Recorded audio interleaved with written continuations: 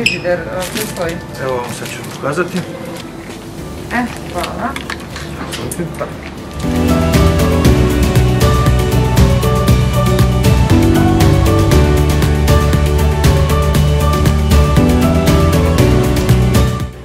Za osveživač tekstila, to sam videla na Instagramu, ali E, ja, ne baš sam da ti kažem da treba da osvežimo tekstil, tako. Treba da osvežimo tekstil. Uh, čekajte, 12 sati. uh, osveživač za tekstil. Uh, sad, ja sam to videla, tražim ovde, ali ne znam...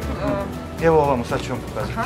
Evo izvolite, Mate osveživač tekstila. aha, a jel može to na garnituru? Htela sam prosto Može ti zavisa i, i tekstil i garniture i odlična je stvar, verujte E, mi, mi ga koristimo da domaćinstvu. To, to, to, ovo sam baš videla.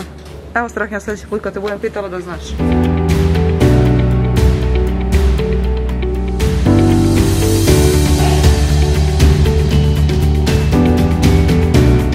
Stiglo nam je proleće, a sa prolećem i veliko prolećno čišćenje. Naime, kad nam grane sunce, sva ona površina ispod kreveta, kauča i ostalo koje se nakupilo prašinom, to moramo da saniramo. I mi ćemo vam u ovom videu dati par praktičnih savjeta kako da vam to prolećno čišćenje ne padne teško i da vam prosto to možda u nekom trenutku bude zabavno. Prvo što uradim, odem u nabavku za to kompletno prolećno čišćenje, uzem sve što mi treba, a onda dođem kući i napravim spisak. Sa ove strane u tabelici su mi obaveze koje radim redovno, jednom nedeljno, jednom u dve nedelje, zavisi kako šta. A sa desne strane, prolično čišćenje, napravim prvo spisak prostorija, odakle krećem i kako šta radim, a posle i šta u kojoj prostoriji detaljno radim. Idemo sad da vidimo šta imamo od savjeta za vas. Iako svi čekamo lepo vreme da brišemo prozore, a, jedna od zabluda jeste da prozore čistimo kada je sunce jako. Zašto to ne treba da radimo? Zato što nam ostaju fleke. Jer je sunce jako, brzo se suši, a onda nam ostanu one mrljice. Sačekat ćemo malo da zađe sunce, pa ćemo onda da čistimo prozore. Evo ga jedan sad primer ovde, moja čerkica je ostavila rukicu, a to i roditelji koji imaju malu decu znaju da su ovo najčešće korišćeni e, proizvodi u njihovim a, kućama i najčešće u njihovim rukama, tako da sad ćemo malo da op, poprskamo.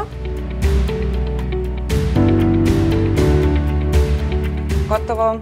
Nakon što smo radnu površinu i sve ovde prebrisali ili sredstvom za čišćenje ili maramicama, a, još jedna od zabluda jeste da se potom prelazi krpom koja je nakvašena vrelom vodom. Dakle, ne vrelom vodom, nego mlakom vodom.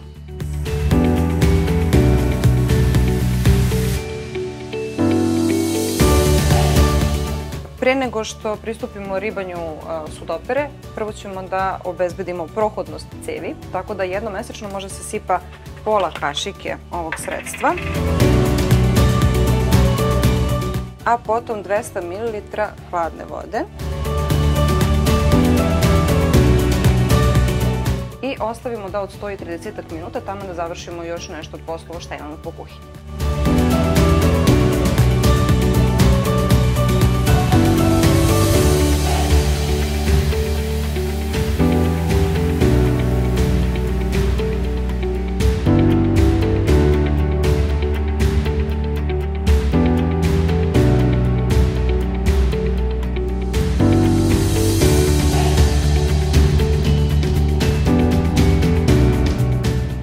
Još jedan dobar savjet je da okupite što više članova porodice da vam u tom velikom prolećnom spremanju pomognu. I evo ja sam uzela svog supruga Strahinu za pomoć. Ja sam uzeo ovo crveno s narom.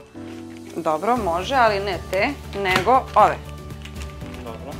E, kreni od ozgo, a ove za podove ostavljamo za kraj. E, od ovih polica krećeš. Ja idem dalje.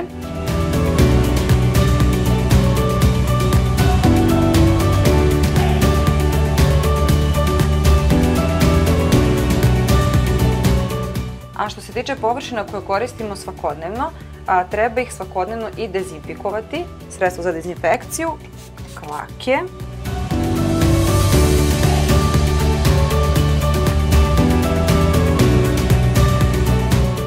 prekidači,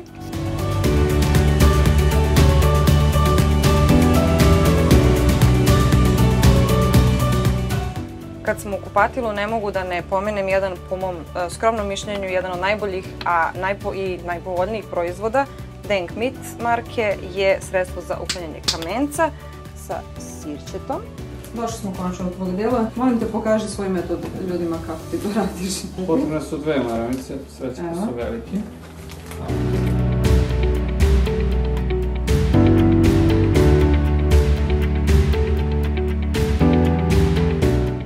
što više djece imate, brže ćete da očistite. Kada je prolećno čišćenje gotovo, za dodatnu svežinu upotrebit ćemo osveživač za tekstil.